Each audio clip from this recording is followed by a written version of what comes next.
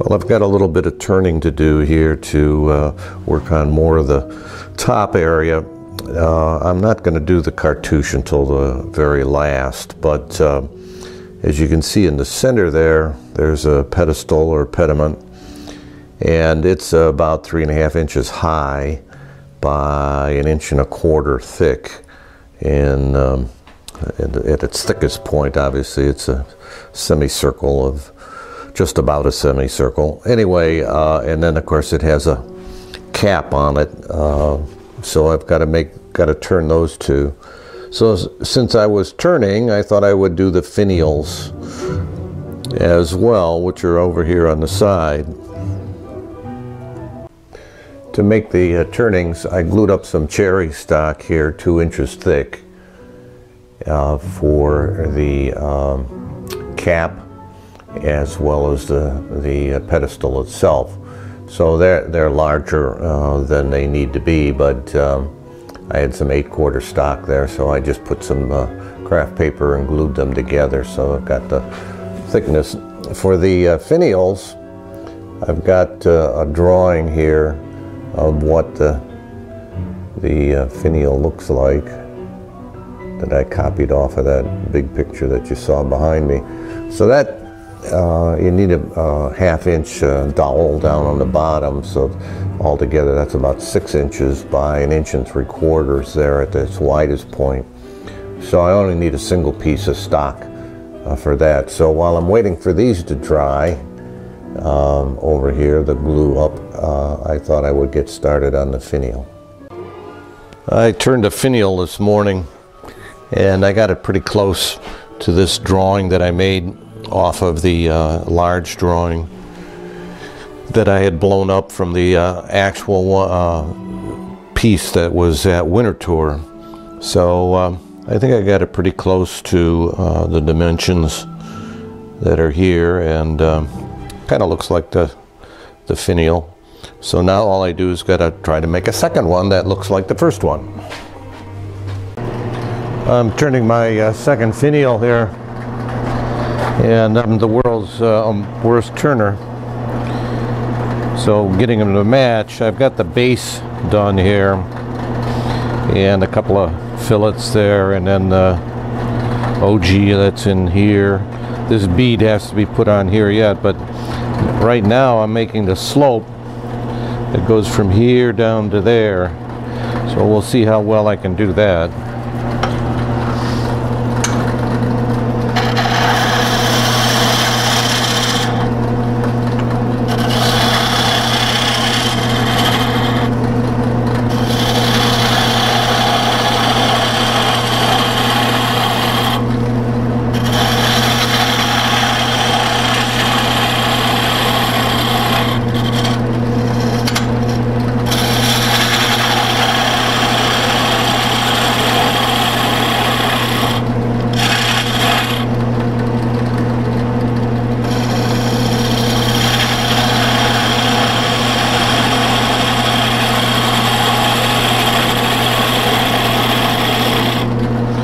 Oh, you can see I'm getting there.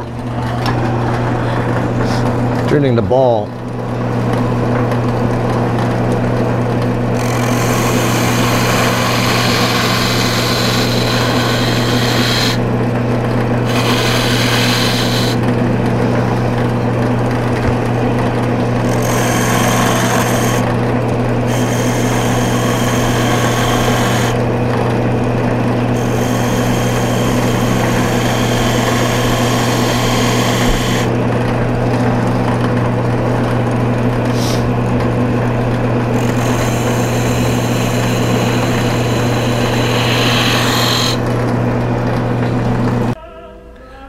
Well, I'm working on uh, the pedestal that goes up on the top of the, uh, the molding and I had glued up some 8 quarter cherry stock the other day and uh, so this was 4 inches square. This is going to be the cap that goes on there and I had glued it up the same way. This is there's enough should be enough material there to do two of them in case I mess up.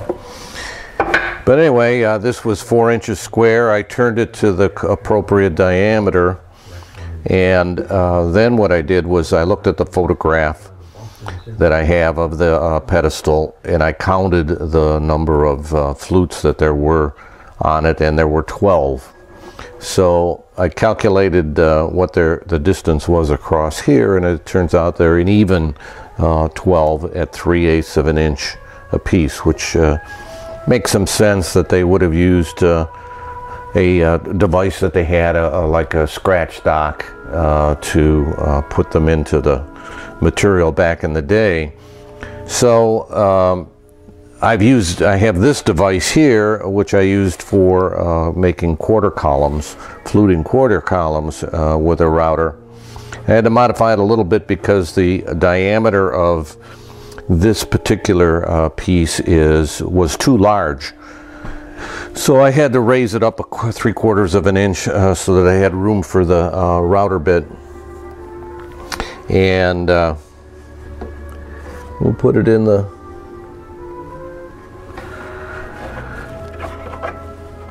bed here. Clamp it in. So the starting point is marked uh, right here. I don't know if you can see it. There you go. So there's a little black mark there. And I've marked them out all the way across the diameter. And uh, it's just a matter of locking it in place. There, it's not going to move anymore. Then take the router which rides in this groove here and then line it up with the mark and once you get the depth right you'll be ready to go and you only really have to you run it from here to here pull it back turn it uh, line it up with the mark and back and forth the cats they go straight through and then the capital uh, the top uh, will fit on top of it to, to finish it off. So we'll give it a try here. I'm making about the fifth pass here, and it's working all right. Uh, it's not the best, but I can uh, finish it off by hand, I'm sure.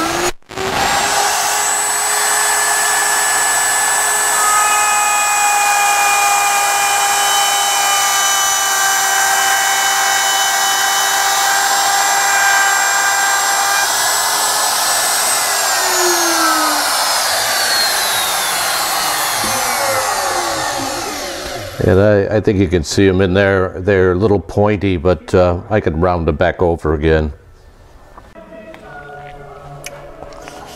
Well, I did both sides of the turning here, trying to get them even, and uh, I cleaned them up with a little sandpaper, trying to get them as even as possible, and of course, as smooth as possible. So there's two sets here and uh, we'll see if we can get them apart. If I can get the chisel in on the mark.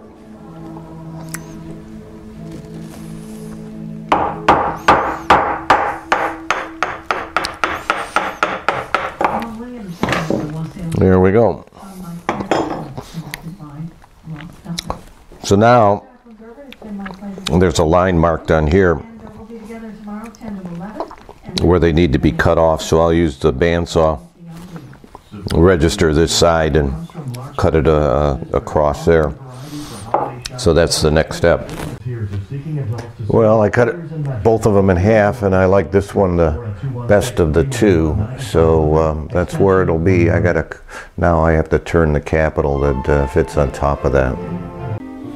Well, I turned the top of the pedestal now and uh, I had a block of wood that allowed me to turn two of them and so this is the first one that I did and it was not very well. So then I did it again uh, over here as you can see and it's much much better. So I cleaned it up a little bit with some sandpaper and I think we're ready to take it apart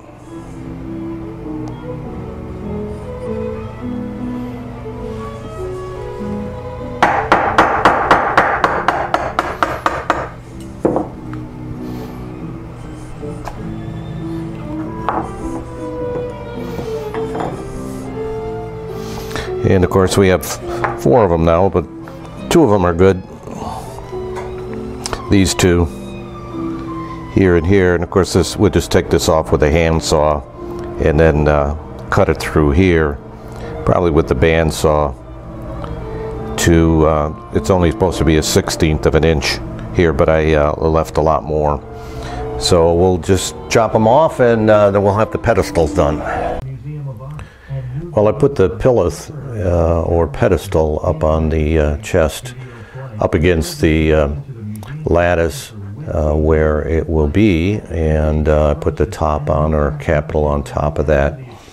And um, the lattice still needs some more cleanup and carving yet, but um, and then I put the two finials uh, left and right there, as you can see, uh, that we've done from the turning.